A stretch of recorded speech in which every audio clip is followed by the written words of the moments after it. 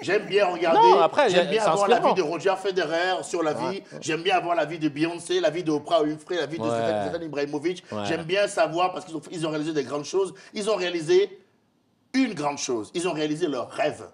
Ça veut dire que eux, ils font ce qu'ils aiment du soir au matin. Mm. C'est quand même ça le but de la vie. Au camp, on n'a pas dit aux gens, c'est pas d'être riche, c'est pas de ci ou de ça, c'est d'être à sa place.